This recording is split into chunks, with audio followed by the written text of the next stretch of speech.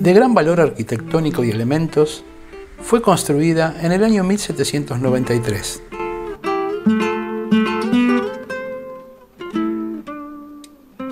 La tradición cuenta que cuando el ejército del norte, al mando del general Belgrano, se dirigía al Alto Perú, en esta capilla fue bendecida la bandera que portaban.